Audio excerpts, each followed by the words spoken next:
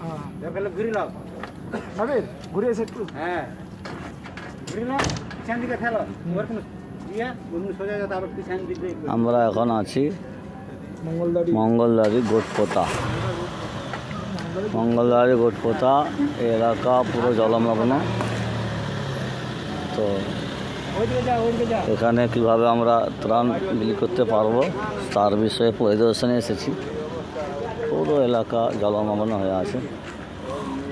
বিস্তীর্ণ এলাকা জলমগ্ন।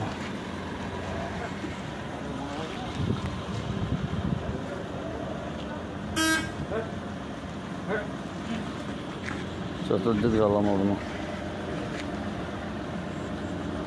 এগুলো ডুবে গেছিল সব? হ্যাঁ এইখানে চলে এসে এই পর্যন্ত এসে গেছে। হ্যাঁ রাস্তাটা তো যাতায়াত করা গেছে। ওর পাশে ওই দিকে হ্যাঁ। আরে ওই ওই ওই ঘাটে আছে হ্যাঁ। শুকনা আছে আর সেই ধারে সেই যে আমাদের কালী মন্দির আছে নি মধ্যে রোড পুরা ডুবে গেছে। ডুবে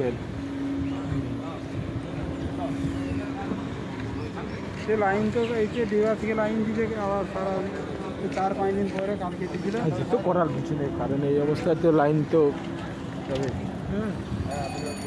দীর্ঘদিনের আর সারা রাত একটু ঘুম দীর্ঘদিন খুব কষ্টের সঙ্গে চলছে এটা আমাদের বাড়ি সরকারি কিছু সাহায্যরা এসছে ওই ঝাঁক দেয় ঠাই হ্যাঁ তুমি জানেন এরকম আমি চাচা ওদের অনেকবারই গেছি আমরা এসছি আমরা পাঁচকুড়া